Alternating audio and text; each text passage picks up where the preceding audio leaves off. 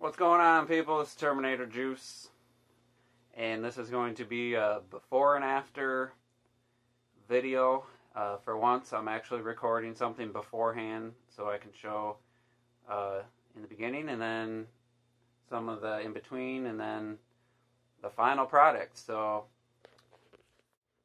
turn the camera around here. I'm in my theater room. Um, I just made some uh, some masking which you probably let's see. Yeah, you can kind of see. I just made styrofoam, cut it out of bevel, and then wrapped some wrapped it with some premium velvet. And uh, it looks all right. It's not perfect, but anyway. Um, purpose of this video is to do something that's long overdue. As you can see, um, I have the exposure up a bit and the lights on full. Like it looks like you know I got a LED strip there. That's actually some really light gray painted um, wood. And in 2006, when I did this, I was inspired by a building I seen with this black, white, and gray color scheme. And also, I had just finished a full acoustically treated theater room at a friend's house and uh, I was trying to match kind of the look of that without having acoustics. At the time, I didn't have the time or money. Um, now I've treated the room, and uh, I'm just. Uh, well, what actually started was I took the masking from the screen and I set it along the wall to, um, while I was watching 16 by 9 content, and I was like, "Holy crap! What a difference it makes not having that white trim there." So I'm gonna paint the trim a this color. Forgot where I put it. It's called satin black, but it's a it's a dark gray. And then I am going to uh, paint the rest of the room from you know the right side of well that beam's gonna be gone, but from here all the way around in a single color, and get rid of the white dividing trim there. And obviously, I'm going to have to patch some holes and prep the walls. Um, so basically, I'm going to build wider dark beams. Um, you know, probably those are, that's a three and a half inch board. It's probably going to be eight to 10 inch wide beam, floor to ceiling. And I'm going to build diffusion panels into it.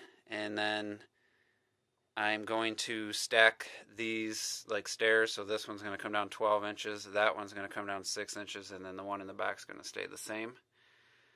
Do the same thing over here, even though it's not going to look quite right because the doorway, that one's not at the full height, but it'll be fine. Uh, and then, since I'm putting a beam here, one of the other issues I've had now that Dolby Atmos is a thing, is I had my side surrounds up at the ceiling because I need to walk through here and you can't see, but let me turn the camera on.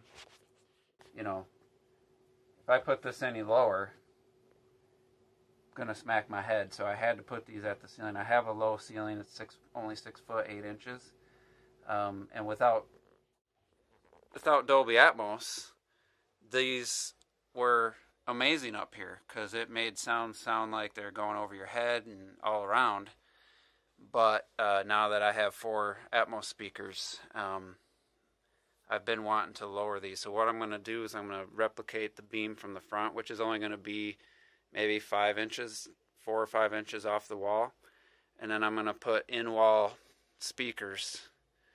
Probably, you know, I'd say the tweeter is going to be closer to it's going to be a bit higher, probably 10 inches maybe higher than the front speakers. And the, those beams will go floor to ceiling as well. And then if I like how that sounds, I might do the same thing back here for my rear surrounds where I'll do the same beam and then I'll put um, in walls. But I'm pretty happy with my back surrounds because I have them pointed down towards my listening position and toed in, so I'm pretty happy. But I could still do the beam, and then I could uh, match up where that shelf is, and then pull the speakers out, you know. So and still have the look. But also, I'm going to lower these uh, acoustic panels down the same height as the front ones, and then with those being like the stair and then the new beam there, um, I think it's going to look good. So my next step is to remove all the trim. I'm going to relocate these um, so I know where to, to fill in the holes of the old mounting spots. And yeah, so this is stage one, just as before I do anything. So uh, next, uh, next you'll see after I've made some progress in this. I figure this can take me a couple weeks, probably total, get everything wrapped up. But uh, for you, it'll be a few minutes. Uh, but yeah, we'll see you when we get something done. All right, so uh, made a little progress. Took longer than I expected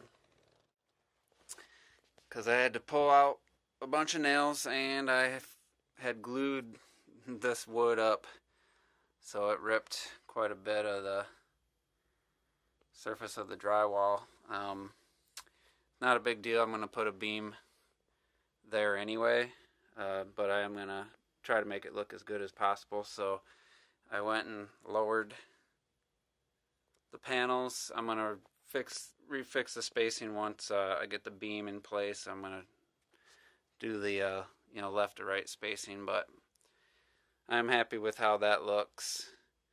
Uh, this one I ripped was way more glued. Um, back in the day, when I was young and dumb, I used a lot of liquid nails. I definitely shouldn't have done it there, but not that big a deal. Luckily, I didn't use it across the trim, so I'm going to have to sand and well, I'm going to have to patch with some mud and uh, and sand that down, and it's probably going to be somewhat noticeable when I paint it all one color because I did leave.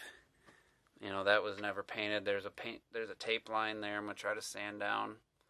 Um, you know, just this is the ugly stage. Um, it might actually look uglier once I get all the mud on. I did a little bit there, just some uh, some spackle, but I'm gonna mix up some good good mud. Um, the other thing I'm thinking about doing now that I have the trim off is I might take this section of couch. This comes off. I might remove this section and I might cut a hole in the carpet and feed this power line across under the carpet. And then I'm probably going to cut away the drywall so that that can be hidden. Um, I don't know if I want it trapped behind the trim though, if I ever have an issue with this power, with this plug. So, decisions, decisions. Anyway, that's an update. Next, uh, I'm to pull the panels off, fill all the holes, and yeah, that should be the next the next update. All right, we're to the next day, and now I have patched everything, removed all the acoustic panels. Over here, I already did some sanding, and I just put a quick coat of flat black just to see. You know, it's not perfect, but it doesn't have to be because the beam's going to be there but you know I'm trying to get it as good as as nice as possible. I'm gonna repaint this whole this black on both sides and uh, you know just get that done. Have an, and then I'll eventually do the front wall when I uh, do some up there. I got a plan for the next next year to do something acoustically transparent screen, put a center channel behind it, all that. So anyway, yeah, this is what it looks like, all mudded. I'm not looking forward to sanding the rest um, because just that little strip I did made quite the mess. Um, so we'll see how that goes. But yeah, that's uh, that's this update. The next, honestly, I probably won't post an update till I have um, the walls all painted. Well, I lied because I haven't painted yet, but I just wanted to talk real quick. I got everything sanded. I did a, a little bit of prime with some uh, leftover flat black I had, but I ran out. So um, sanding sucked, but I got the uh, marks for the, where the beams are going to be.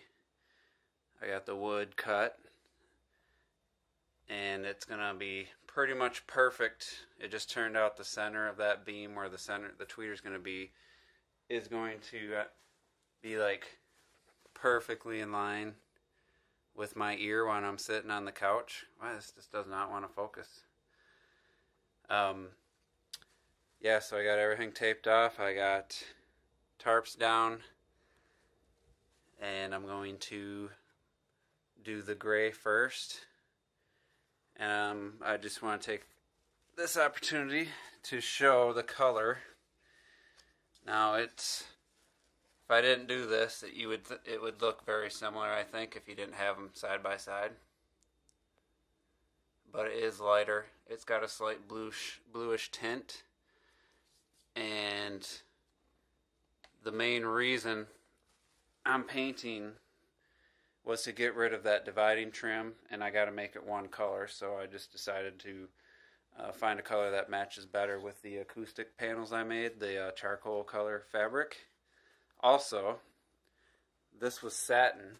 Um, it's dulled now because I sand it. The, I made the mistake of painting the satin, so I'm going to go with like flat and uh, ultra scuff defense version on uh, from Behr. So it's going to be floor to ceiling this color which will be a nice consistent look with the the beams being that dark gray that the trim's going to be. And I have a really cool I came up with a really cool idea to make a diffusion panel built into the beam which I'm excited about. I'll show that when it's done. Um, so yeah the floor to ceiling is going to all be one color which is going to be nice. It's going to be flat so it's not going to be satin and not have that glossy sheen to it it's going to reflect less light, even though it's slightly lighter color. So, yeah, this is uh,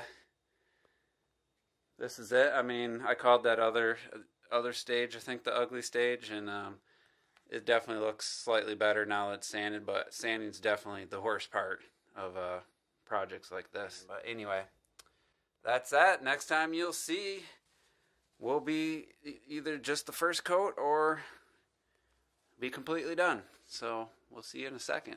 Well, guess what? I lied again. I'm not to show the uh, the paint at this point. I have two coats on. I've waited a couple days for it to dry.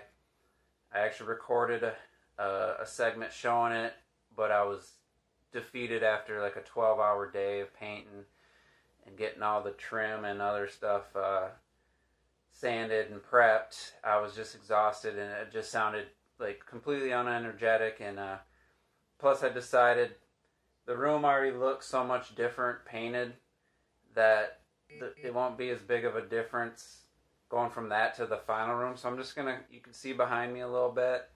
Um, I'm just gonna wait till the till I get the beams up and and I think have the final presentation to show it. Um, but I am going to go show you the progress of the two beams I'm working on. I got the speakers today, and uh, I got the beams primed and the mounts for them. I already had them up on the wall, made you know, made sure everything fit, and uh, yeah, so I'm gonna go show that in my little workshop, kind of talk about that, and yeah, we'll see you in a second. All right, so coming to the workshop, I had to uh, clean it up a bit because it was pretty messy. So here are the two beams. This is the right beam that's going to have the light switch as I come in the room. These are Polk 65 RT in walls. Me, uh, so you can get a. They kind of look like the paradigms. Um, the way the tweeter's surrounded like that. It's a um, fully rotatable tweeter and uh, yeah, the beams turned out pretty good. Um, I ended up going with plywood because it was just too expensive to do like solid wood for the front. Um, so I've had to do a lot of filling with spackle and sanding. Um, and I'm gonna have it's gonna be painted dark. There's there's two two screws on either side, top and bottom, um, to mount it to the wall.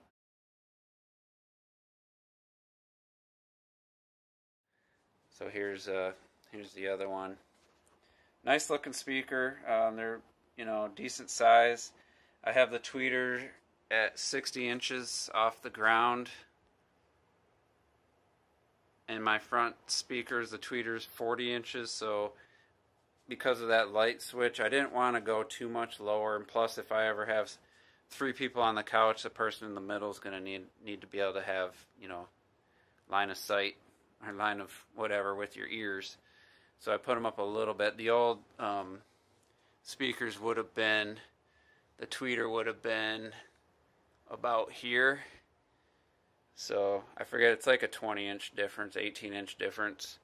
Um, and then I have the wood to do the two front speakers where I'm going to do a cutout. And then I'm going to have um, like dividers. It's going to be like a diffusion panel. Um, so that one's going to take a little more work than just these simple ones here. You know, I just cut out for the speaker. But yeah, that's uh, that's where we're at. Um, I also have to. I have these rear acoustic um, bass traps. Basically, they're four inches thick. I need to mount some uh, French cleats on them and, and get those mounted in the back of the room, and then paint the trim for the doorways, same color as these beams, and then I have the baseboard in the other room. Um, but yeah, uh, I'm also going to fill the beams with insulation um, up to from the bottom up to probably right here, and then I'm just going to probably do. I mean, because if this was in the wall, there would be insulation. I'll probably go a few inches above, and then uh, I'll just show you on the inside. Um,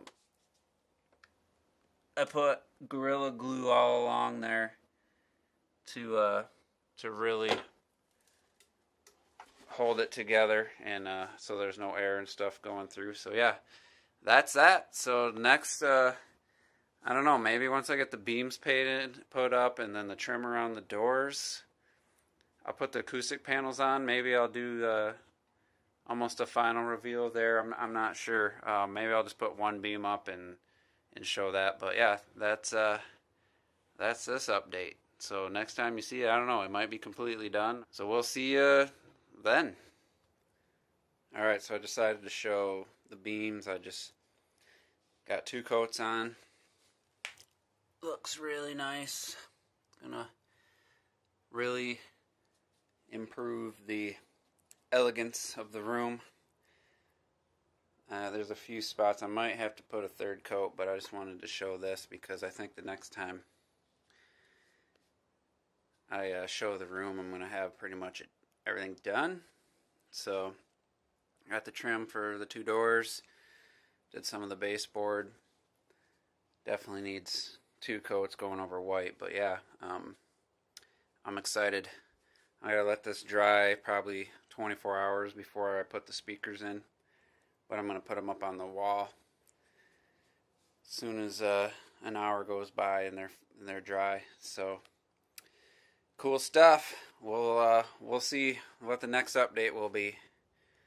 But until then, all right. So I just wanted to show. Uh, I got beam. This is the rear beam in place. I got one speaker installed and I have not painted the uh, speaker grill, but it's magnetic. It actually don't look too bad white. I wish it was like a light gray. So yeah, that's a look at uh, at that beam. I know it's kind of dark in here, but I do. I have the trim around the door, and it's uh, looking pretty good. So on the left side, I have yet to put the speaker in, and uh, it's just an opening. Got some packed it with insulation, and then on the back I put some um, backing material so the insulation wasn't rubbing against the wall. Uh, this beam was just simple, um, just the one cutout. So on this beam I had to mount the light switch, which I just put another electrical box and just a little 8-inch extension from the old. Um, it just happened to work out that my old light switch was where the beam's going to be, so yeah, that's a look at these two beams that are done in place. Um, and I'm going to show you the front beams uh, in progress. All right, so here we have one of the front beams. and uh, it's been routed. So what I did is I have a one by four, which is actually three and a half, three quarter by three and a half, and then I have half inch like birch plywood. It has a pretty nice finish.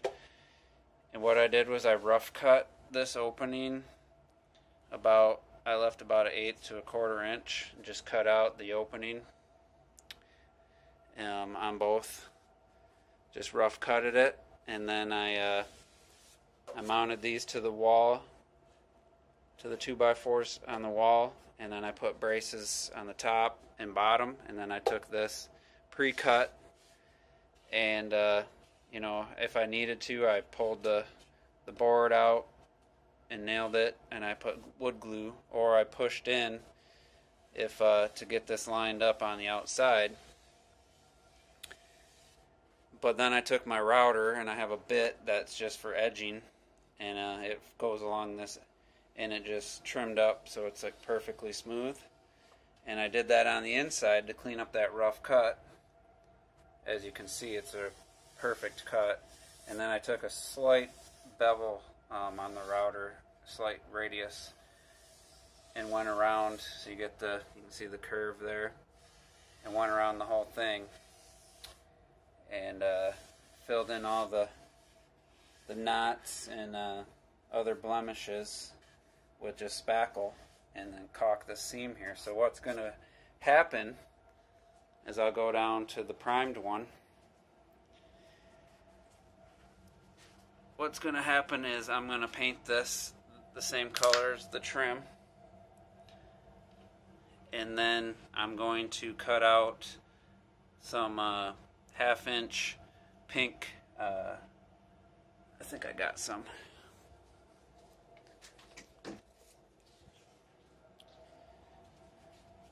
So what I'm going to do is I'm going to, this is uh, half inch Owens Corning foam board insulation. I'm going to cut out to fill the square and put put it in from the bottom like that.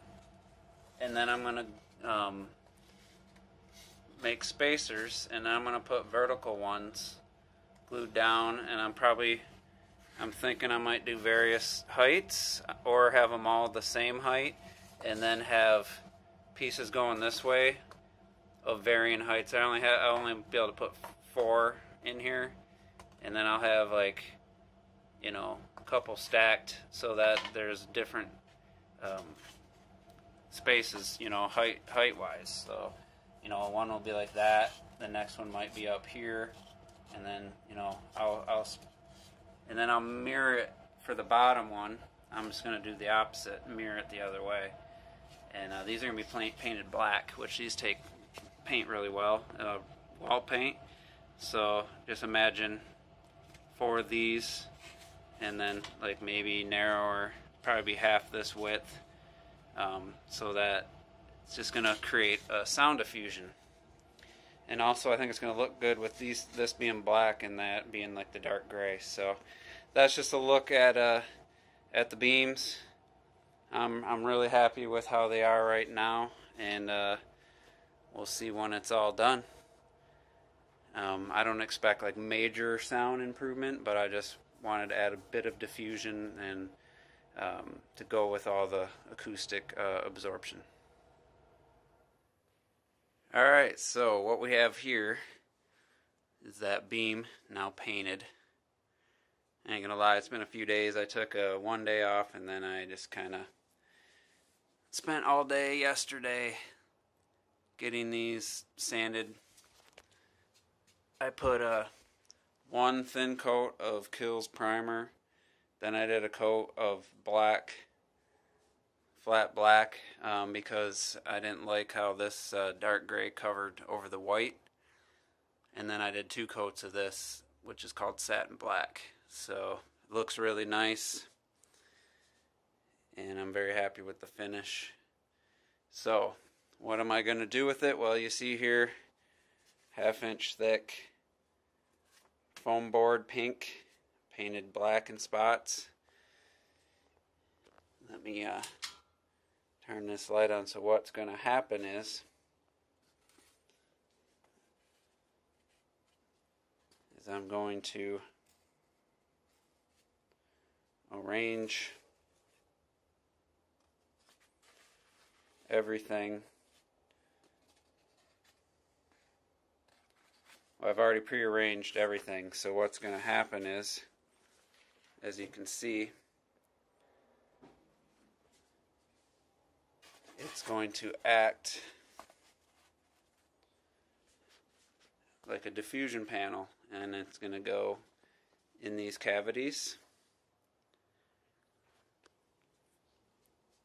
Basically, I'm going to use a little glue under.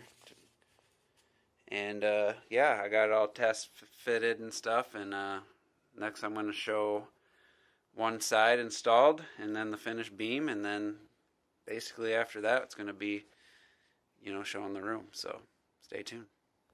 All right, so it only took me like 10 minutes to get this done. And, uh, you know, when you have an idea in your head, let me kill that light and I've been thinking about this for over a week, and then to finally see that it turned out exactly as I was hoping. I went with the flat black on the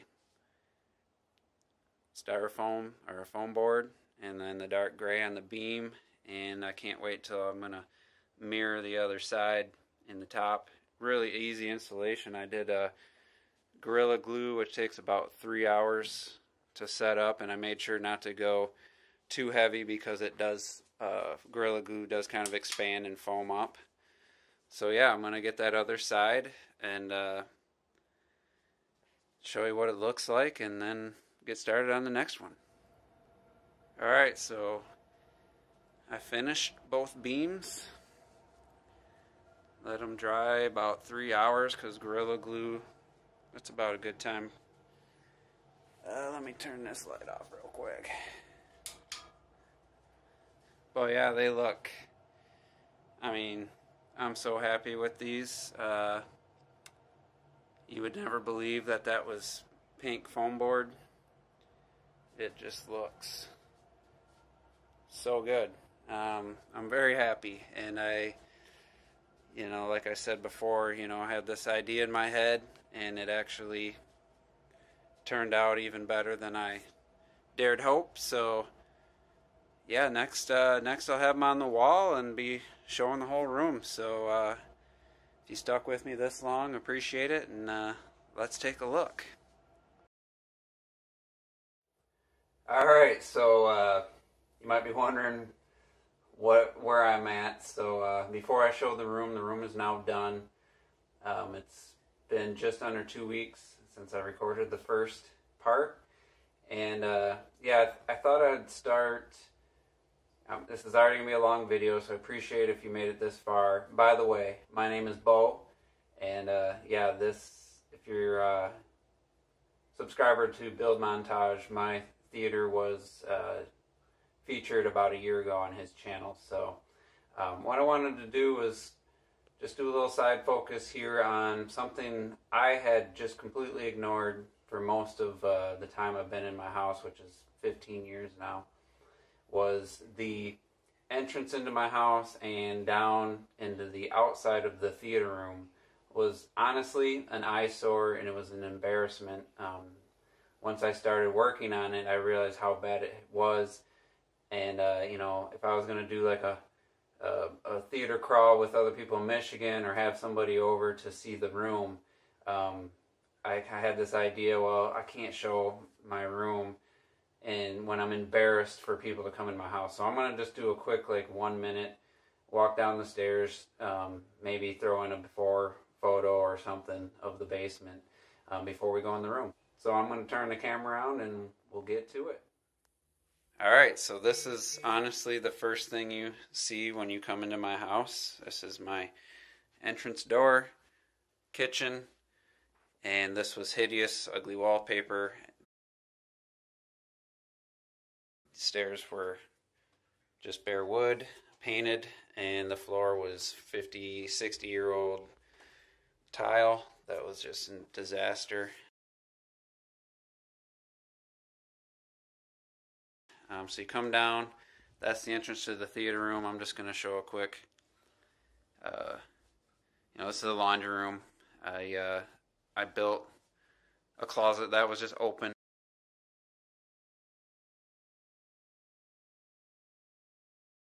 So I built actually built a closet, drywalled it. I got some stuff in here, but ooh, super bright. Anyway, that might that's something I'm thinking of doing a hush box for my projector. But anyway, built the closet. Um, you know, did the flooring, and it's really nice, one of the nicest places in my house other than my theater room. Um, so yeah, so now we have, I'll post a before shot right here. Um, and then, you know, got the workshop, which you've seen, got it cleaned up. So yeah, now it's time for the reveal. Um, I'm pretty excited. Uh, I'm really happy with how this turned out. So let's let's go in. And I turned on, got a movie playing, Ghost in the Shell, 2017. Um, so yeah, here is the room. Let me uh, get so the there's my. I was calling these beams. These are actually columns. So apologize to uh, any architects. Got the walls painted. Got the uh, you know, both columns. Got the speakers in, what you've seen. Um, stack those like stairs. I kind of wanted to replicate like the feeling of like stadium seating, even though I don't have a riser. I ended up refabricating the back panels because it just didn't look right black. Um, my door, which I didn't talk about, is a curtain, and I have some sound diffusion, which I'll show maybe. Um, so let's have a look and I didn't get the uh, paint yet to uh, match the speaker grills, so there's the uh, the right side. And I uh, I purposely left my masking a because this is a 16 by 9 movie, but um, I learned something when I put this when I put that down there, and now it kind of like hides and creates a perfect black um, void there when the lights are out. So I'm gonna actually, I don't know, I might have to build a stage or something because I like how that looks. So anyway, I'm gonna cut to cut back to some earlier footage, uh, so you can see the the stark difference going back and forth. So I had a shot just kind of showing this wall as you can see um, the white trim it was just like glowing and then uh, back. I lowered those and uh, refabricated them.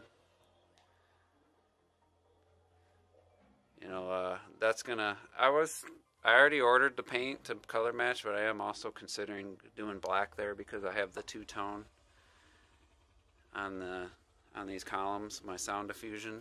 Um, so one of the things, uh, one problem that popped up was I had my remote IR send, uh, RF sender there, and it looked wrong now that the bottom half's not black. So I actually put it up in the ceiling because this is acoustic transparent fabric. Um, check out my video on my drop ceiling. Uh, yeah, so I had to solve that problem. Uh, the other thing I mentioned was I was going to get rid of, I was going to run that cable under the carpet, which I did. I was a little worried about it. It wasn't too bad. And uh, it just comes out. Let me raise the brightness here. So it just comes out and then goes through just like my subwoofer cables. Um, yeah, so that looks really clean. I'm happy I don't have a tripping hazard here. I can walk through. Um, so yeah, what do you guys think? Um, it looks better to the eye than my my crappy camera can pick up, but I think you know you get the idea. I think the columns really added an elegance to this room. The color a little more blue than I thought it was gonna be, and uh, let me dim the lights a bit. But overall, I'm very happy. And uh, yeah, sounds great. I mean, no huge improvement, but definitely no negative improvement. And yes, uh, also I was going to show real quick because since my room tour on Tony's channel, Build Montage, I've I have changed my rack a bit. So I now have, and, and below my Yamaha, I have two Niles 50 by 2 amps powering my Atmos speakers. Freed up, so my uh, my Yamaha's only powering uh, seven speakers. And then I got a UB820 4K Blu-ray player, which is sitting on my HD DVD, which I don't use. Honestly, I should just probably unhook it, but it fills that gap nicely. I also added an Amazon, or not Amazon, Apple TV 4K box, and then I left my old Sony Blu-ray player because that I can play my Atmos demos through that um, via USB.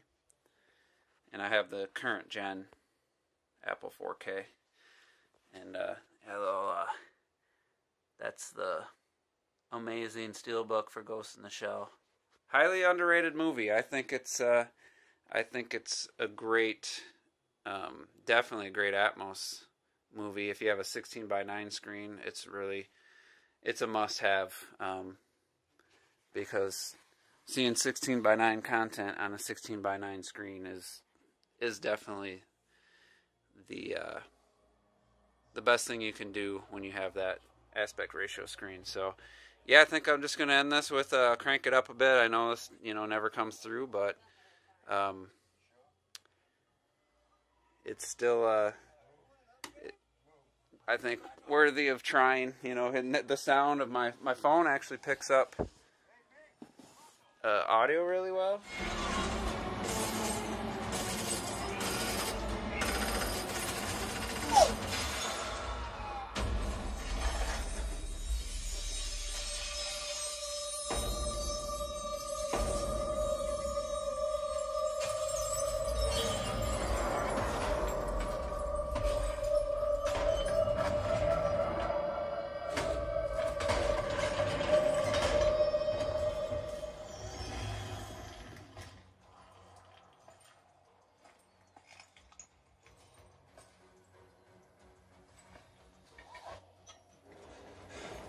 All right, so I just wanted to sit down and do some closing thoughts. I, again, appreciate you if you watch this. I know not a ton of people are going to check it out, but uh, yeah, this has been uh, quite the journey over the course of two weeks. Um, a lot more work.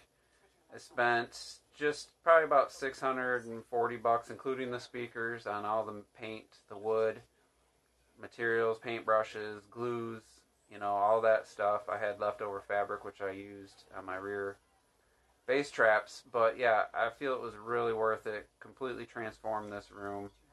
Um, it was good before. I really honestly did like the the black, gray, and white color scheme, but you know, it just wasn't just wasn't the best for a movie watching experience. So uh, yeah, let me know what you think of the of the change, and uh, you know maybe I'll do some follow up videos.